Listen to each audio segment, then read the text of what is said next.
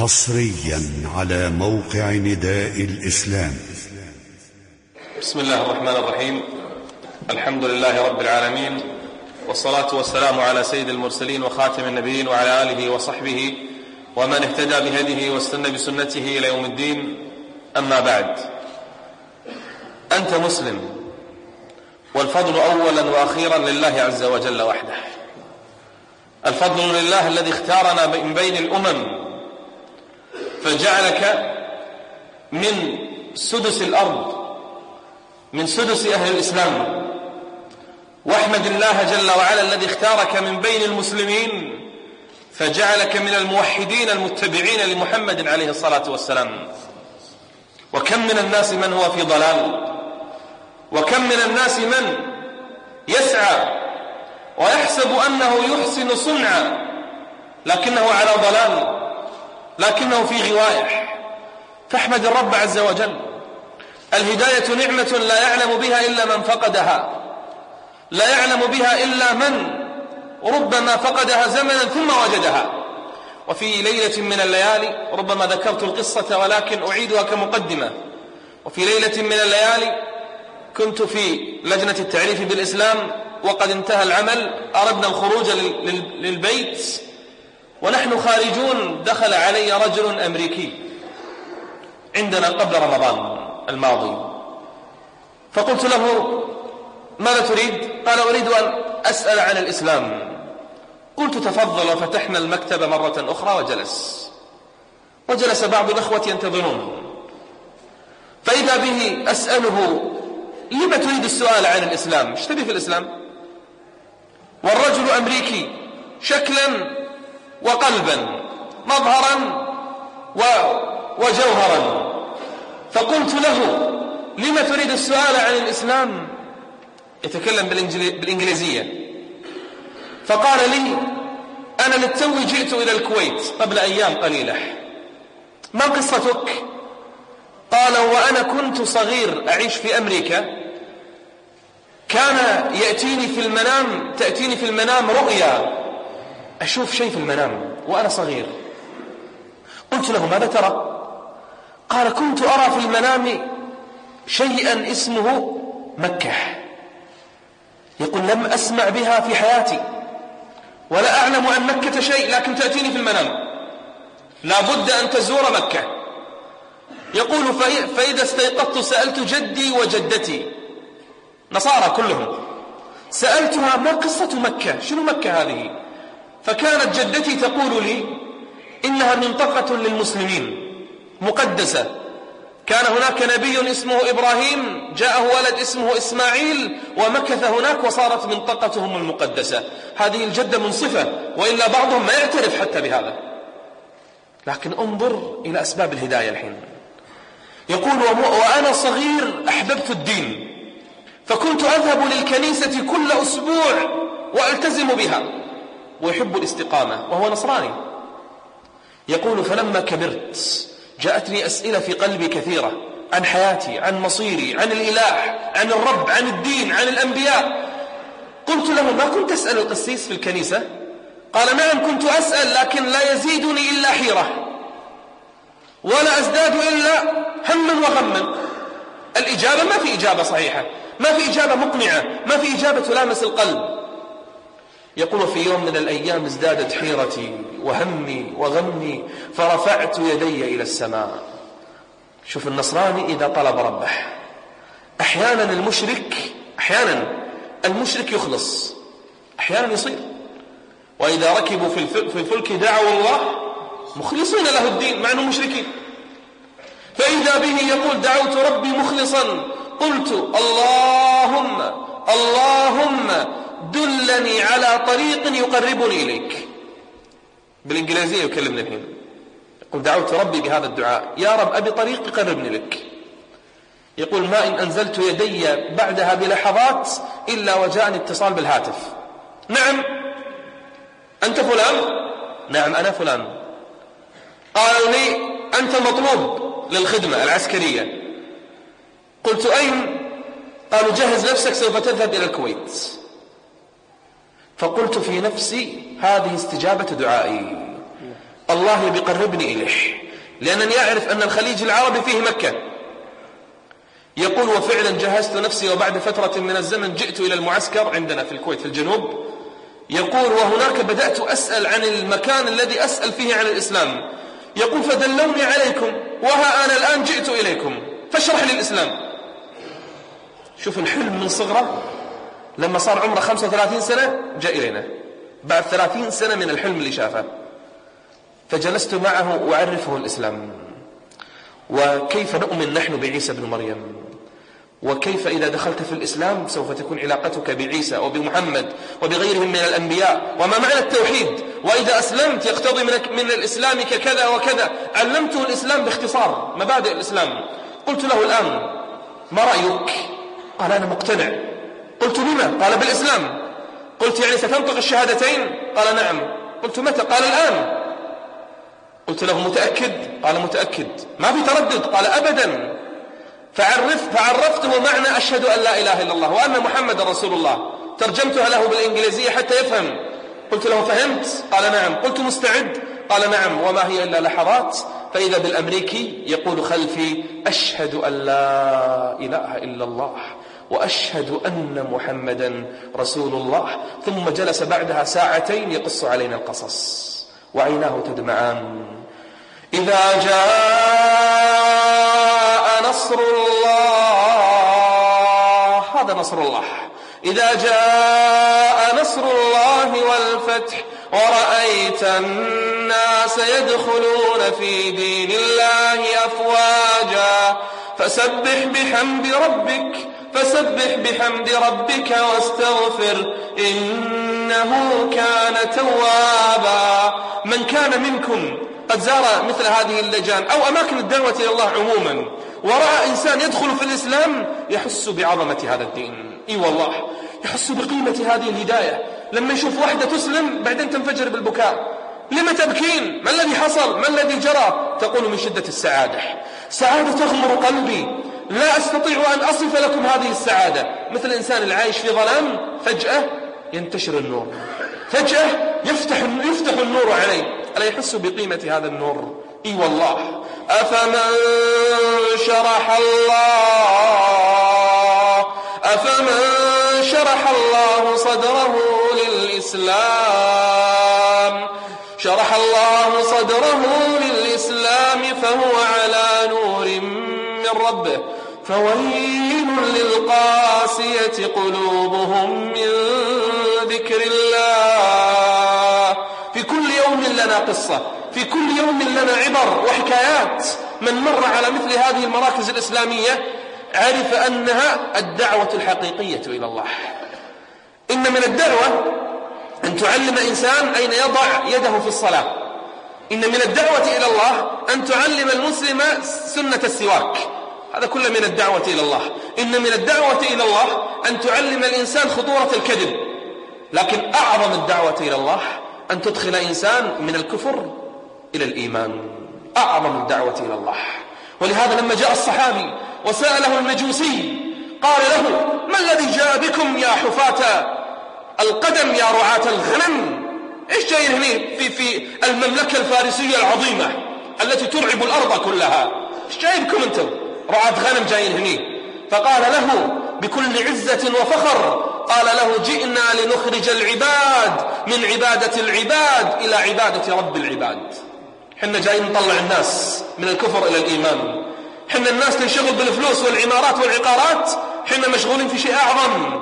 جئنا لنخرج العباد من عبادة العباد إلى عبادة رب العباد. ومن ضيق الدنيا إلى سعة الدنيا والآخرة. ومن جور الأديان إلى عدل الإسلام. ومن أحسن قولا ممن دعا. ما في في الأرض أحسن منه. ومن أحسن قولا ممن دعا إلى الله. ممن دعا إلى الله وعمل صالحا. كنز من كنوز المسلمين خيبر. خيبر تعرف إيش فيها؟ عاش المسلمون عليها وأحفادهم على خيرات خيبر. خيبر فيها كنوز وراح يفتحها من؟ علي بن أبي طالب رضي الله عنه. فقط يفتح خيبر ويتملكون هذه الملايين من الخيرات. فيقول له النبي عليه الصلاة والسلام يا علي ليكن أول ما تدعوهم إليه. أهم من الفلوس أهم من الذهب أهم من المزارع أهم من الخيرات أهم من هذا كله شنو؟ قال ليكن أول ما تدعوهم إليه شهادة أن لا إله إلا الله وأن محمد رسول الله. فوالله فوالله لن يهدي الله بك رجلا واحد. خير لك من حمر النعم. إيش تبي في الدنيا. تقول يا شيخ الناس مشغولة الحين بالأسهم الناس بالبورصة الناس تبيع وتشتري الناس الصفق في الأسواق. يا شيخ اللي مثلي صاروا تجار وصار عندهم ملايين وأنا قاعد في البيت. أقول له ما عليك. ما عليك هذا الذي يهتدي على يديك بإذن الله. خير لك من الدنيا وما فيها. هذه التي تقول أشهد أن لا إله إلا الله بسببك خير لك مما طلعت عليه الشمس. النبي عليه الصلاة والسلام يرجع من الطائف إلى مكة. تعرفون إيش في الطائف؟ راح على قدميه الشريفتين إلى الطائف يدعو إلى الله جل وعلا. فرموه بالحجارة. فخرج مهموم متضايق عليه الصلاة والسلام. حتى وصل إلى قرن الثعالب منطقة من المناطق. يقول فاستفقت وأنا بقرن المنازل. حتى جاءه جبريل وملك الجبال تعرفون القصة. فجلس عند مزرعة. مزرعة من المزارع يملكها من؟ رأس الكفر. عتبة وشيبة. أبناء ربيعة معروفين من صناديد كفار قريش. وكانوا يعادون محمد عليه الصلاة والسلام أشد العداء. لكن لما رأوه على هذا المنظر رأفوا لحاله. منظر يحزن الواحد. الدم مشق الدم ينزف من رجليه. والوضع أشعث أخبر عليه الصلاة والسلام. خرج طريدا من الطائف إلى مكة فأرسلوا فأرسل إليه من؟ غلاما لهما اسمه عداس نصراني. قال له يا عداس خذ العنب. أخذ العنب وذهب بهذا العنب إلى محمد عليه الصلاة والسلام. عداس ما يعرفه. فلما جلس فقال له خذ كل. فأخذ النبي عليه الصلاة والسلام العنب وقال بسم الله وأكل. كلمة أول مرة يسمعها عداس بسم الله. كلمة عظيمة. كلمة كبيرة. شوف حنا نقولها ما نشعر بها أصلا. بسم الله هذه حرقت شياطين. بسم الله باركت في أشياء. بسم الله جعلت النجس طاهر وحلال. بسم الله كلمة مفتاح كل خير كلمة بسم الله. فأكل النبي فتأثر الآن عداس. فقال له ما اسمك؟ قال اسمي عداس. حين الرسول وين؟ والدعوة وين؟ لكن لأن الدعوة تجري في في قلب النبي عليه الصلاة والسلام في جسمه. حياته كله دع كلها دعوة. منذ بداية يا أيها المدثر قم فأنذر إلى أن توفاه الله وهو يدعو إلى الله جل وعلا. فإذا به يقول له ما اسمك؟ شو اسمك؟ قال عداس. قال من أين أنت؟ قال من نينوى. نينوى وين صايرة الحين درينا أنها في العراق. لكن قبل الحرب الناس ما كانت تعرف أنها في العراق. لما دمرت عرفناها. نسأل الله العافية. قال من نينوى؟ فقال النبي يتذكر. قال له من نينوى؟ من بلد الرجل الصالح يونس ابن متى بلد الأنبياء. قال من بلد النبي يونس. فقال له عداس وما أدراك عن يونس؟ إيش دراك؟ عداس يعرفه لكن الناس ما تعرفه في ذلك اليوم. قال ما أدرك بيونس؟ قال يونس بن متى نبي؟ وأنا نبي مثله ونحن إخوة. فانكب عداس على بطن النبي يقبله ويبكي عداس. فنظر عتبة وشيبة إلى عداس فقال أحدهما للآخر انظر إلى صاحبك قد فسد. اخترب. يا عداس تعال تعال. رجع عداس قال ما شأنك؟ قال لا شيء. قال لما تقبل هذا الرجل؟ قال هذا خير رجل على وجه الأرض اليوم. قال لما؟ قال إنه نبي. عرف يونس بن متى؟ فقال له لا عليك منه يا عداس ما عليك منه؟ إنه كذاب. ودينك خير من دينه. أن تقول نفس يا حسرة يا حسرة على ما فرطت في جنب الله. وإن كنت لمن الساخرين. أو تقول لو أن الله هداني. أو تقول لو أن الله لكنت من المتقين. يقول أحد الناس يقص, يقص قصته وهو يدعو إلى الهداية. يقول كنا في إحدى البلاد الأوروبية. هداية نعمة. ترى الناس ينتظرونك. في الكويت عندنا تقريبا أكثر من أربعمائة ألف غير مسلم. في الكويت. مسؤولية من؟ لا تقولي لجنة التعريف. لجنة التعريف تؤدي ما عليها. لكن مسؤوليتي أنا وأنت وكل من في المسجد مسؤول. كلنا مسؤولون. لا تقول أنا ما عندي علم شنو؟ اشتري من العلم. بلغوا عني ولو آية. آية بس تعرفها بلغ. تعرف الشهادتين؟ بلغها. أنت مسؤول عن هذا.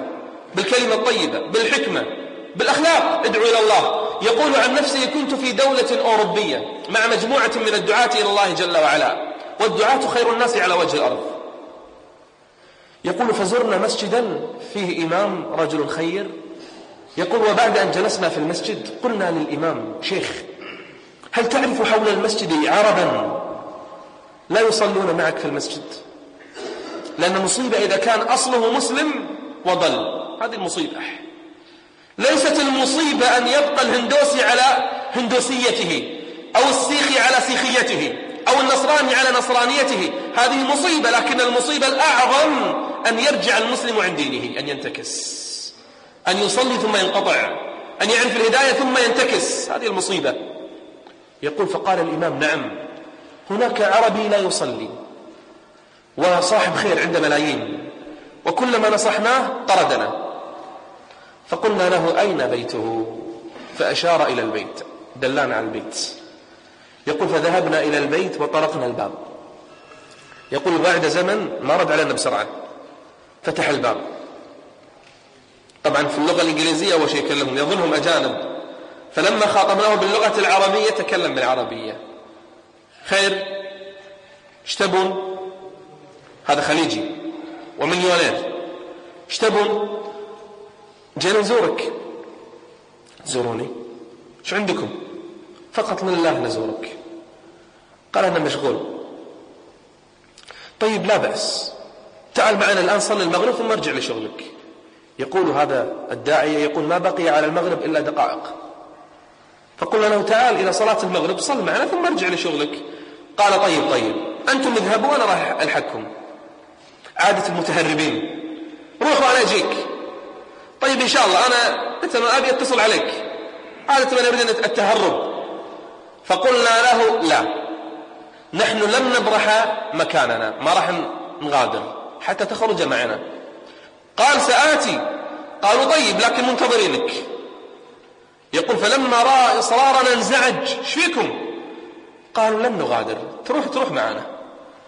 فقال طيب طيب. فلما أصررنا يقول غير ملابسه ثم خرج معنا. على مرض مكره أخاك لا بطل. يقول فخرج من من بيته وهو يتأفف. إيش يبون هذين اصبر أيها الداعي.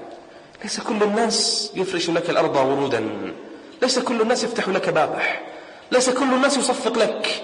ربما تجد من يبصق عليك ومن يصفع الباب في وجهك. بل ربما من يتهمك. لكن اصبر فهذا طريق الأنبياء. يقول فخرجنا معه إلى المسجد. وكان كالعادة بعد صلاة المغرب محاضرة إيمانية وعظية. رجل يذكر الناس. يقول وإذا بي أنظر إليه في المحاضرة تدمع عيناه. بداية الهداية. بدأ النور يشع. بدأ الفجر ينفجر. يقول فإذا بي تدمع عيناه. يقول وبعد المحاضرة أسرعت إليه وجلست معه. قلت له إن شاء الله الكلام طيب الذي سمعته.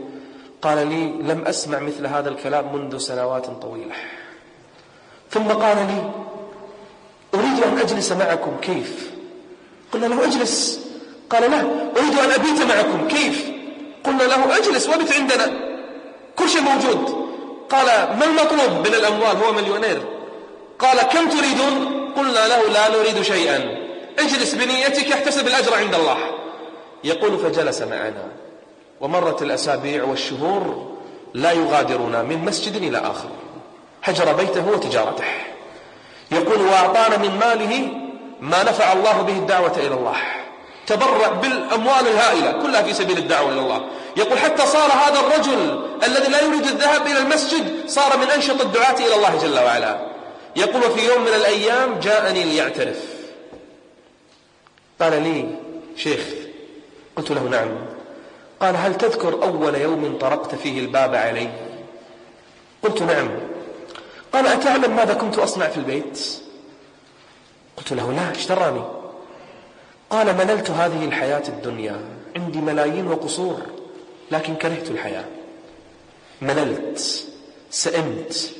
تعرف إيش سويت؟ قلت له إيش دراني؟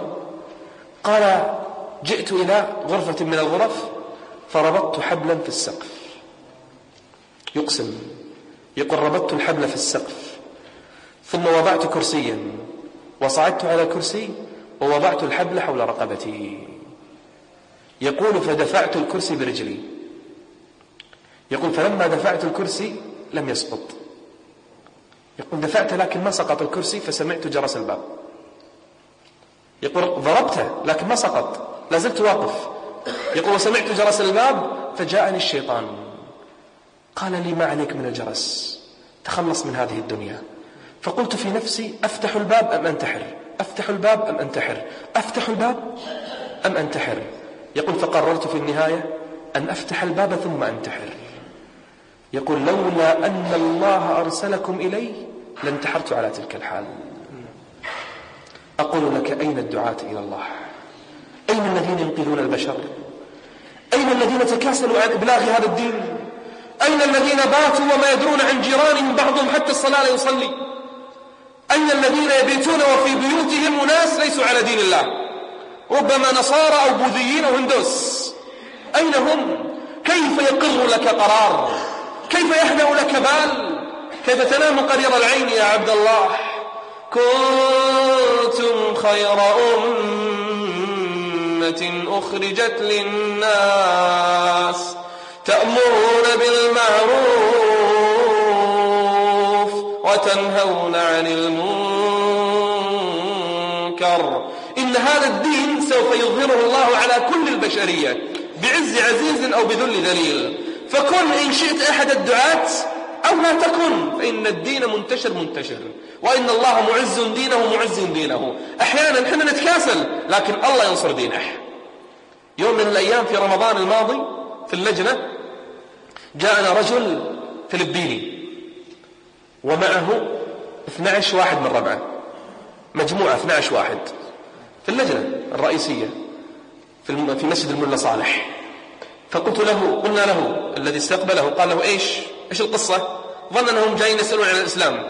قال جميعا كلنا جميعا نريد أن نشهر إسلامنا.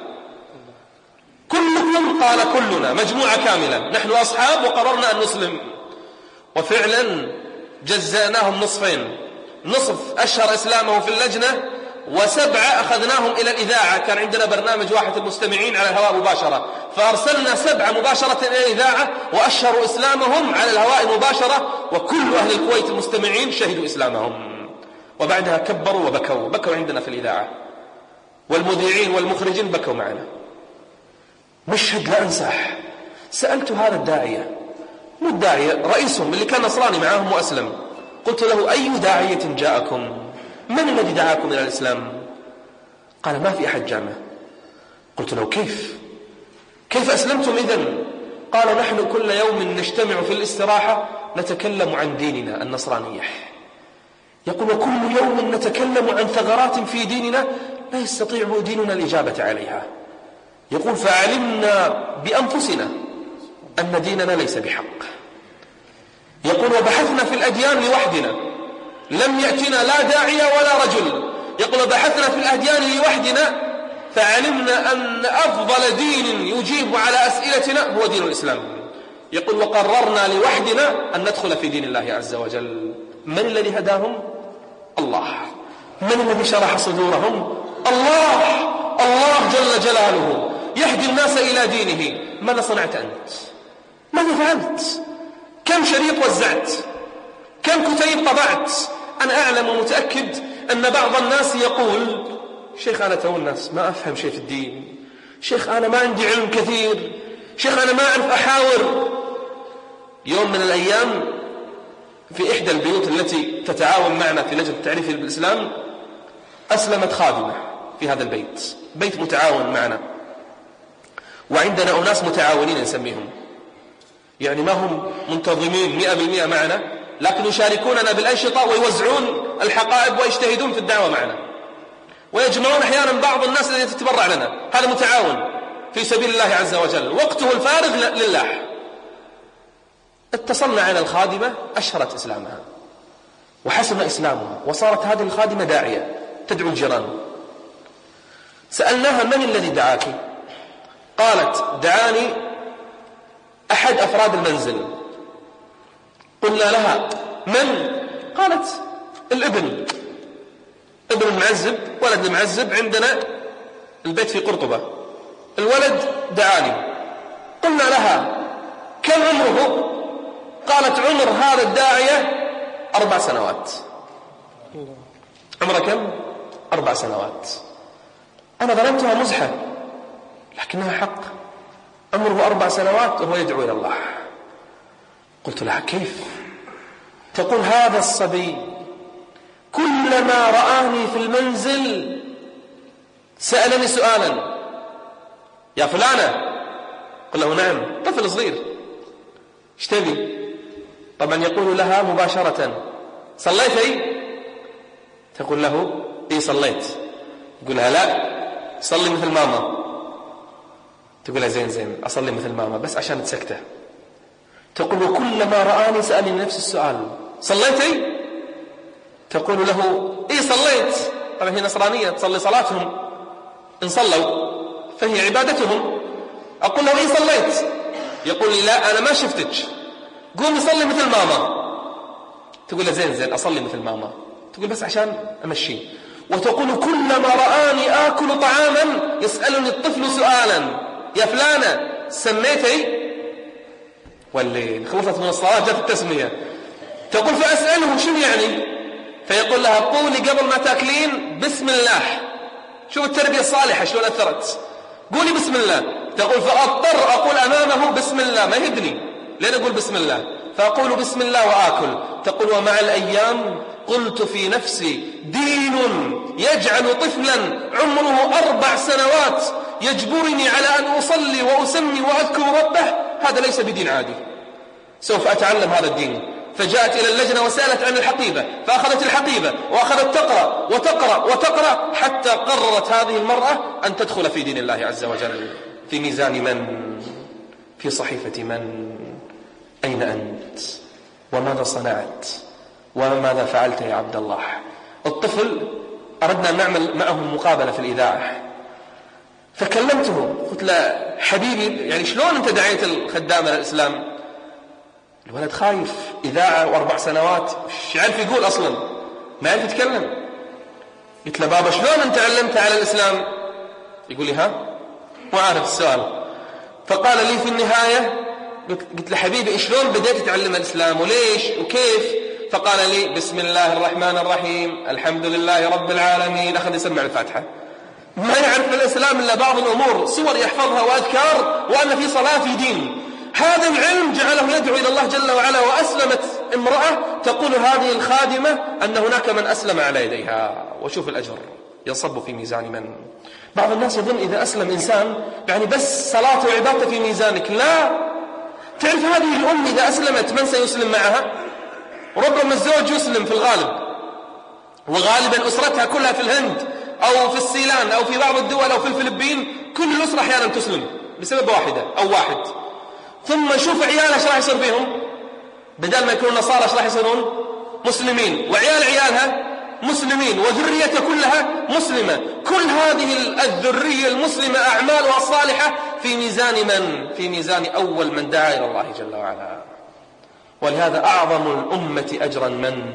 محمد عليه الصلاة والسلام. كل الأمة في ميزانه. لقد جاءكم رسول من أنفسكم عزيز عليه ما عنتم حريص عليكم بالمؤمنين رؤوف رحيم. حرص على المشركين ليس فقط على المؤمنين. يجلس مع عمه أبي طالب يقول له يا عم قل لا إله إلا الله. لا يجبه يا عم آخر لحظات حياته. من جالس عنده؟ أبو جهل وبعض المشركين. فيقول له يا عم قل لا إله إلا الله. فلا يجبه حتى نظر إلى أبي جهل. فقال أبو جهل أترغب عن دينك ودين آبائك يا أبا عبد الم... يا أبو عبد المطلب؟ يا أبا طالب؟ فقال أبو طالب للنبي عليه الصلاة والسلام قال لولا لولا أن تعيرني قريش لقلتها شفت ما الذي منعه؟ الفضيحة طيب أنت راح تموت الحين شو يهمك لا. قال لولا أن تعيرني قريش لقلتها ولقرت بها عينك. ولكن هو على ملة عبد المطلب. قال أنا على ملة عبد المطلب ثم هلك ثم مات فدمعت عينا محمد عليه الصلاة والسلام. فأنزل الله عز وجل له إنك لا تهدي من أحببت ولكن الله يهدي من يشاء. ربما كلمة لا تلقي لها بالا يدخل الناس في دين الله. ربما دينار بعض الناس مستقطع عشر دنانير كل شهر. حاط استقطاع لهذه اللجنة ونسى نسي هذه هذه العشرة دنانير. نحن ربما ننفق في اليوم أكثر من عشر دنانير. يدخل واحد الجمعية يطلع بخمسين ستين دينار وما شرى شيء. هذا الرجل استقطع عشرة دنانير ونسيها. ما يدري. قد تكون أسلم على كل عشرة أناس. ليش لا؟ إذا أسلم في هذه اللجنة بفضل الله إلى الآن ما يقارب ثلاثين ألف واحد. شفت؟ يعني وصلوا الآن إلى ثلاثين ألف مو شوية وهذا كل واحد عنده أسرة وعنده عائلة. يعني اضرب الثلاثين ألف بالعشرات. عدد خيالي. أخي الحبيب ربما دينارك تسبب في هداية إنسان. في رمضان الماضي لوحده في رمضان بس شهر واحد تقريبا 800 إنسان دخلوا في دين الله. عشرات كل يوم كانوا يدخلون في دين الله. لأن الشياطين مصفدة والقلوب تنشرح لهذا الدين. هذه الأيام كل منكم رأى قوة الله في هذا الزلزال الذي حصل. بثواني معدودة حصد 150 ألف والعداد لا زال ماض وملايين المشردين ومليارات الخسائر وربما تكون الكارثة على مدى سنوات تؤثر في العالم بثواني معدودة. وأن القوة لله جميعا وأن الله شديد العذاب. والله جل وعلا يقول عن نفسه وما يعلم جنود ربك إلا هو. أنا وأنا أشوف المنظر في بعض القنوات الغربية وضعت أكثر من العربية. كيف كان الناس يضحكون في البداية لما هاج البحر شوي. كانوا يضحكون ويلعبون حتى بعضهم دخل. لما شاف الموج شوية دخل عليهم بدأوا يدخلون عليه ظنوا الأمر لعب وهزل. وبعد قليل هذا كان يصور من أعلى طابق. وبعد قليل هاج الموج وهاج الموج. وبدأوا يركضون وبدأوا يتعلقون. بدأ الأب يجمع أولاده وبدأ طفل بعد الآخر يذهب عنه حتى لم يبقى أحد من الأحياء. موج كان جميلا يجلس الناس عند شاطئه. بحر هادئ جميل منظر رائع. يجلس الناس على شاطئه. هذا يسبح وهذا يصطاد وهذا يلعب ويلهو. وهذا منبسط على الشاطئ يتعرض لأشعة الشمس. وهذا يتحدث وهذا يتسامر. كلهم يجلسون عند الشاطئ الجميل. فجأة أذن الرب عز وجل لهذا البحر أن يغضب. فغضب البحر. وهاج وثار. فإذا به يحصد مئة وخمسين ألفا من القتلى وربما العدد يتضاعف وما يعلم جنود ربك إلا هو. كم من الألوف إن كان مسلما فهو شهيد وهو على خير. لكن إن لم يكن مسلما كم من الألوف من مات على غير الإسلام؟ أليست مسؤوليتنا؟ اقرأ. اقرأ عدد الأخير في مجلة البشرى سوف ترى. امرأة كيف تأتي إلى آلهتها وتعطيهم الطعام. صورة صورة امرأة في الهند تأتي بالطعام إلى آلهتها. تطعم الآلهة. تعرف شنو الآلهة؟ فئران. جرذان هذه آلهتهم. وبعضهم لا زال إلى اليوم يعبد البقر. ما نفع البقر نفسه حتى ينفعكم. لكن الجهل والعمى وبعضهم يعبد حجرا وشجرا. من لأولئك البشر؟ تعرف كم عدد سكان الأرض؟ أكثر من ست مليارات. المسلمين مليار وربع. وين البقية؟ أين البقية؟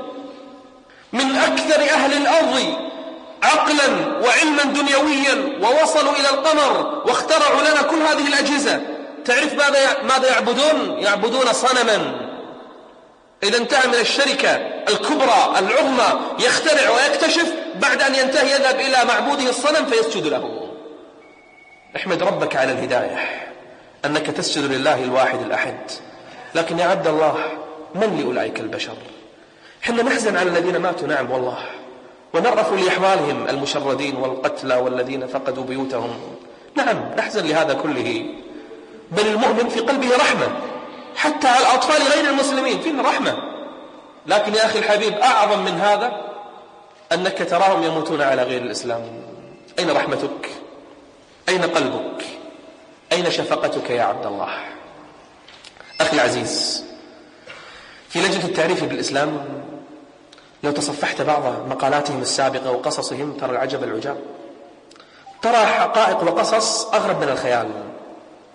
ترى عندنا بعض الناس الذين أسلموا حديثا هندوس أو بوذ أو غيرهم أسلموا حديثا اليوم من الدعاة إلى الله.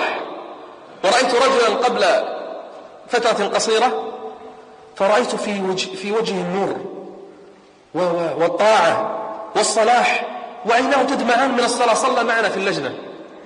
وبعد الصلاة جاءني وسلم علي ما شاء الله عليه. هذا اللي يشوفه يقول هذا طالب علم. والذي يراه يقول هذا ما شاء الله منذ ولادته مسلم. فقلت فقال لي شيخ تذكرني؟ هندي. قلت له لا والله ذكرني.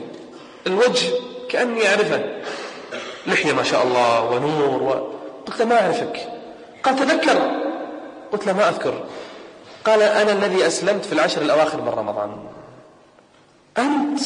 قال نعم في مسجد جابر العلي. لما جئت بي إلى الناس المصلين وأشرت إسلامي. أمام المصلين وبكى من بكى من المصلين وهو بكى قبلهم لما أشهر إسلامه. قلت له سبحان الله أهذا أنت؟ قال إي نعم هذا أنا. سبحان الذي يقلب القلوب سبحان الذي يغير الأحوال. فمن يرد الله أن يهديه فمن يرد الله أن يهديه يشرح صدره يشرح صدره للإسلام. أخي الحبيب من أعظم الدعوة إلى الله أن تدعو غير المسلم إلى الإسلام. لأن بعض الناس ربما ربما يدخل في الدين ويبدأ في الدعوة إلى الله وينشغل في أمور فرعية ربما تضيع عليه العمر. والله تضيع عليك الوقت وتضيع عليك الأعمار. وينشغل كما قال علماء الفقه والأصول في, جزئي في جزئيات عن كليات هذا الدين. أول وأكثر من شغل به النبي في مكة ما هو؟ الدعوة للتوحيد الدعوة للإسلام حتى يدخل الناس في دين الله. يأتي إلى رجل في مكة. يأتي إلى رجل في مكة فيسأله عندك آلهة؟ قال نعم. قال كم إله تعبد؟ كم إله عندك؟ قال أعبد سبعة آلهة. شوف واحد عنده سبعة يعبدهم. قال النبي عليه الصلاة والسلام وما هؤلاء السبعة؟ وين السبعة؟ فقال أعبد سبعة ستة منهم في الأرض وواحد منهم في السماء. ست أصنام وسبعة في السماء الذي خلق السماوات والأرض يؤمنون به لكن يشركون به. فقال له النبي عليه الصلاة والسلام شوف السؤال الجيد الذكي قال من تجعله لرغبك ورهبك؟ وقت الشدة تلجأ لمن؟ قال وقت الرغب والرهب ألجأ للذي بالسماء. فقال له إذن دع الذين في الأرض واعبد الذي في السماء. فنظر الرجل وفكر فقال أشهد أن لا إله إلا الله وأنك رسول الله. ودخل في دين الله عز وجل. ما أبسط الإسلام؟ ما أبسط الدين؟ ما أبسط, أبسط هذه الشريعة؟ أحيانا نمر على غير المسلمين في دواماتنا في شركتنا في وزاراتنا. في, في بيوتنا أحيانا في الشوارع نمر على غير المسلمين أو إذا سافرنا لدراسة أو علاج أو سياحة إلى بعض البلاد نرى غير المسلمين. أخي الحبيب ترى أخلاقك تؤثر فيهم كم من الناس من ربما يدخل في الإسلام لحسن الخلق أو ينفر عن الإسلام لسوء الخلق. كم وكم. رجل من الرجال داعية من الدعاة يقول كنت في إحدى المحاضرات يقول إذ قطع علي المحاضرة مجموعة من الناس في أمريكا. يقول دخل مجموعة من الناس وقطعوا علي المحاضرة. يا شيخ يا شيخ نص المحاضرة. قلت نعم. قال عندنا طلب. قال انتظروا بعد المحاضرة. قالوا لا الحين الحين الآن. قلت تفضلوا يقول فجاءوني برجل أمريكي. في المحاضرة في أمريكا. في نص المحاضرة. يقول جاءوني برجل أمريكي. قلت لهم إيش عندكم؟ قالوا يا شيخ علمه الشهادتين وأنطقه إياه. يريد أن يسلم. فقلت له أريدك أن تحدث على نور من ربه فويل للقاسية قلوبهم. فويل للقاسية قلوبهم من ذكر الله. إن كان هدفك الدعوة إلى الله حسن أخلاقك معهم. ابتسامة دخلته في الإسلام. حسن خلق أدخل جنوب أفريقيا وشرق آسيا وأوروبا إلى الإسلام. كيف؟ بحسن أخلاق المسلمين وحسن تعاملهم مع غيرهم. بعض الناس على باله دام إنه كافر ما أبتسم في وجهه. دام إنه كافر ما أحسن إليه. دام إنه كافر ليس له من البر شيء. من قال لك هذا؟ لا ينهاكم الله عن الذين لم يقاتلوكم في الدين. لم يقاتلوكم في الدين ولم يخرجوكم من دياركم أن تبروهم. كافر. وتبره أن تبروهم وتقسطوا إليهم.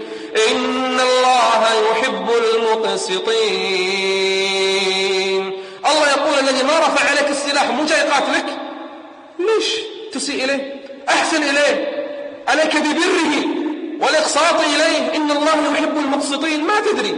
ربما يهتدي ويدخل في دين الله فتأخذ أجره. وأجر كل من أسلم بسببه. حتى لا نطيل عليكم. هذه اللجنة المباركة ليست لجنة لمجموعة من الأشخاص أبدا. هذه لجنة كل أهل الكويت مواطنين مقيمين كلنا مطالبون بالتعاون. واللجنة وفرت شيئا ليس لك عذر بعده. كلنا ما لنا عذر. أي لغة لأي غير مسلم عندنا في الكويت موفرين لك حقيبة تقول لي هندي تقول لي تاميلي تقول لي فلبيني تقول لي صيني تقول لي إنجليزي تقول لي أي لغة عندهم حقيبة جاهزة. إيش لك عذر بعدين؟ ترى ما في عذر. عندك عامل عندك راعي عندك هندي عندك خادم عندك خادمة عندك موظف عندك مسؤول عندك مدير عندك عسكري. أي إنسان غير مسلم اسأل عن لغته. تعرف عليه واسأل عن لغته. شنو لغتك؟ اللغة الفلانية.